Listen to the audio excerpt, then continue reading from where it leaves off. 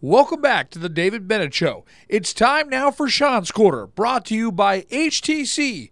This is life. Connect with it. We're here in the Brown Locker Room in the Atkins Field House for Chants Corner, our weekly segment. We've got with us uh, master bass fisherman Tim Franklin, who loves to fish. He's found all the spots around here to fish.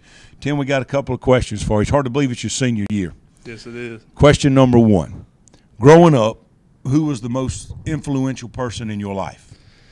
I'd have to say the most influential person in my life was my grandmother. Uh, she always kept me on a straight path, always uh, taught me about respect and self respect, always doing good for everybody around you and throughout the community. And no matter what, it's always going to turn around and help you back in the same way.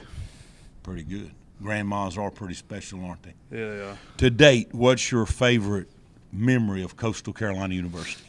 I'd have to say, since I've been here since 07, I'd have to say that winning the first conference championship of my whole football career was probably the uh, most memorable moment of my life. Need another one your senior year. Yeah, I do. If you could have a redo, if you could redo anything in your life, is there anything that you might would redo?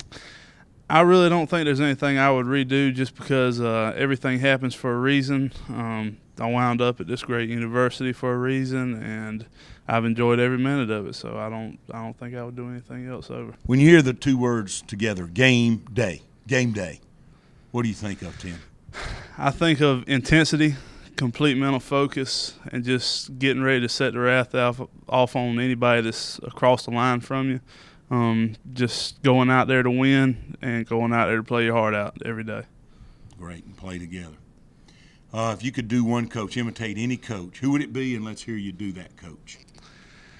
Well, that's that's kind of tough. I, I kind of like you, Coach Bennett. Whenever uh, one of our position coaches gets on to us, and we hear you in the background yelling the same exact thing, like uh, Coach Cove will be after us. Move your feet. Don't stop your feet in the hole. Stay low. Stay low and then just a complete echo. You see, you hear Coach Bennett in the background just going right at it.